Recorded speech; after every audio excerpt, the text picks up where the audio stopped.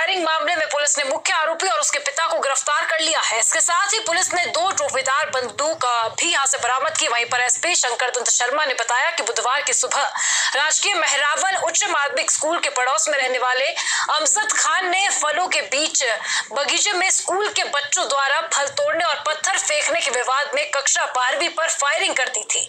इस फायरिंग में तीन छात्र बाल बाल बच गए हालाँकि तीनों छात्र मामूली रूप से घायल ज़रूर हुए थे। फ़िलहाल पुलिस आरोपियों से पूछताछ कर रही है। कल 15 नवंबर को Maharawal senior secondary school Dungarpur में जो फायरिंग की घटना हुई थी उसमें जो मुख्य एक्यूज था अमजद और जुमा इन दोनों को पुलिस ने गिरफ़्तार कर लिया है। इधर एटीएम लूट गिरोह का